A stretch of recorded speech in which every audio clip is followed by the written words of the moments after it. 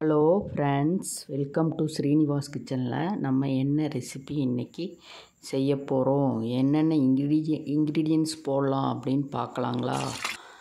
உப்பு தேவையான அளவு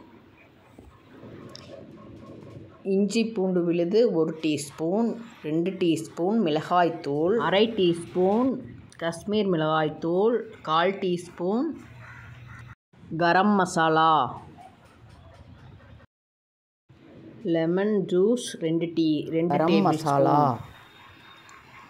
இந்த இன்க்ரீடியன்ஸ் எல்லாம் சேர்த்து நல்லா கலக்கிக்கலாங்க. எல்லா இன்க்ரீடியன்ஸும் ஒன்று சேர்த்து கலக்கிக்கலாங்க. மத்தி மீன் அரை கிலோ ஐநூறு கிராம். கொஞ்சம் தண்ணி விட்டு நல்லா கலக்கி எல்லா இன்க்ரீடியன்ஸ் ஒன்று சேர்த்து. கார்ன்ஃப்ளவர் மாவு ரெண்டு டேபிள் ஸ்பூன் மஞ்சள் தூள் அரை டீஸ்பூன் எல்லா இன்க்ரீடியன்ட் ஒன்று சேர்த்து கலக்கிக்கலாங்க. ஃபஸ்ட்டே வீடியோவில் ஃபிஷ் ஃப்ரை நிறைய போட்டுக்கிறேங்க.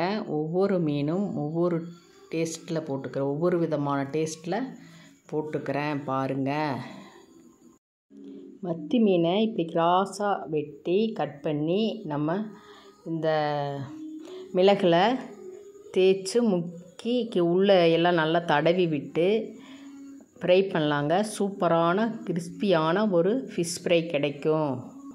இந்த வீடியோ பார்க்குறவங்க சப்ஸ்கிரைப் பண்ணாதவங்க செல் ஐக்கானை கிளிக் பண்ணுங்கள் அப்போ தான் நான் போடுற ஒவ்வொரு நோட்டிஃபிகேஷனும் வீடியோவும் உங்களுக்கு வரும்.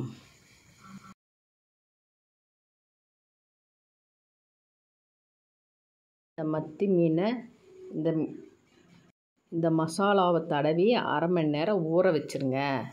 ஊறின பின்னாடி பாருங்கள் ஊறியாச்சு. ஊறின பின்னாடி ஃப்ரை பண்ணுங்க. சூப்பரான இந்த மத்தி மீன் ஃப்ரை சூப்பராக இருக்குங்க. ஹெல்த்தியான ஃப்ரை உடம்புக்கு ரொம்ப நல்லது. டேஸ்ட்டாகவும் இருக்கும் கலர்ஃபுல்லாகவும் இருக்கும். அட்டகாசமான டேஸ்டான இந்த மத்தி ஃப்ரையை செஞ்சு சாப்பிட்டு கீழே கமெண்ட்டில் போடுங்க எப்படி இருக்குன்னு. ஃப்ரெண்ட்ஸ்க்கெல்லாம் ஷேர் பண்ணுங்கள் போட்ட மீனை மூணு நிமிஷம் கழித்து திருப்பி விட்டு அதே மாதிரி ஃப்ரை ஆன முன்னாடி எடுங்க.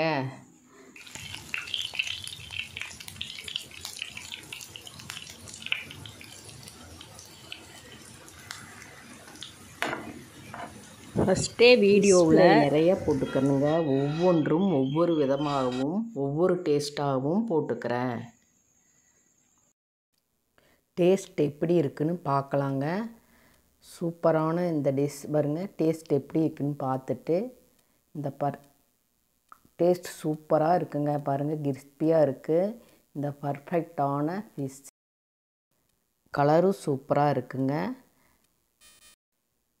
எம்மியாக இருக்குங்க. இந்த ஃபிஷ்ஷை நீங்கள் செஞ்சு சாப்பிட்டு கமெண்ட்டில் போடுங்க. ஷேர் பண்ணுங்கள் ஃப்ரெண்ட்ஸுக்கெல்லாம் ஷேர் பண்ணுங்கள்